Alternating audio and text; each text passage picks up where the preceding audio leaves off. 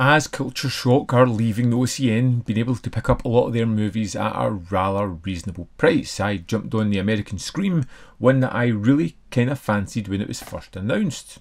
Group of uh, a family go on a holiday to a wintry location to a small town, and bad things happened. It has this weird kind of uh, feeling to it where it has these moments of terror and horror, but it's always tinged with humour as well. It's a horror comedy of sorts, and it feels very much like Dead and Buried as we follow our characters into this town where everything just feels a little bit off.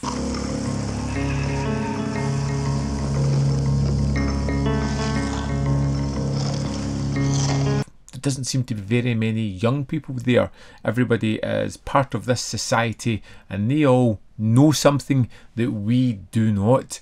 And as we watch this uh, group of, of people try to enjoy their holiday, they become under attack from unseen forces as we watch it unfold. Now, I really did enjoy this one quite a lot.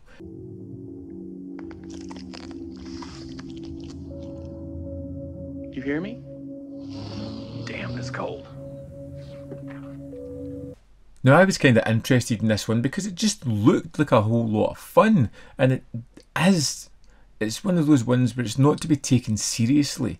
Its tongue is very much in its cheek. It has these moments of ridiculous humour and uh, funny moments. It has characters doing some stupid things, but you can understand it because it feels fitting to the characters. You know, we've got a couple of boys that are just kind of uh, egging each other on to do silly things who slowly start to realise what's going on.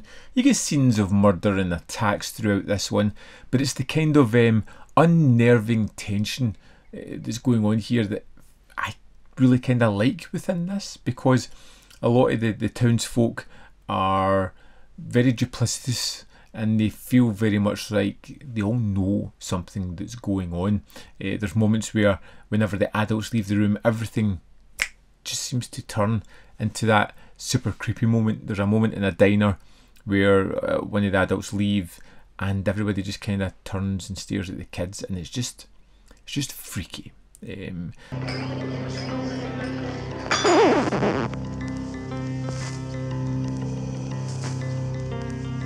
the, the machinations of why everything is happening, I kind of bought at the end of it as well. It's an 86 minute movie.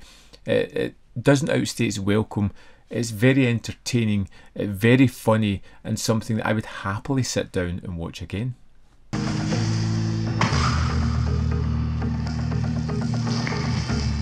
There is a weird sort of war going on here between the ideas of the film as it kind of focuses on one tangent and then quite quickly uh, jumps the tracks and goes onto something that's completely contradictory to what's happening in the film.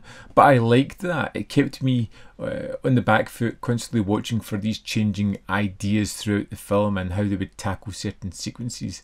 It feels like it's filled with a kind of nightmarish energy that really kept me on my toes, enjoying what was happening. You know, one minute you'd be watching a party, next minute someone's being beheaded in the most brutal fashion, and you're just like, where did that come from? Why did that happen? Why is nobody talking about it? What the hell's it on to now? It just kind of moves along. Like I said, it's a really quick film. It's really kind of weird and tonally strange. Visually, it's a little bit odd as well and not really uh, stands out.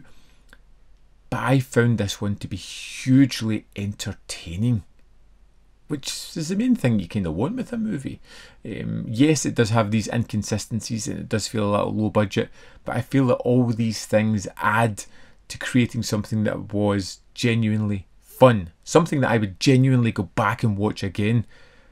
I'm hoping the rest of the Culture Shock films has this kind of weird manic energy that keeps me hooked on what I'm seeing. I would love to know your thoughts on the American Scream if you picked it up, whether you thought it was great, poor, fell somewhere in the middle. Let me know in the comment box below. As always, there's more content up here. You can see more of my stuff. In the description box below are links to the Patreon, membership program, and manvfilm.com. Always in which you can support me. Thanks for watching, and I'll see you next time.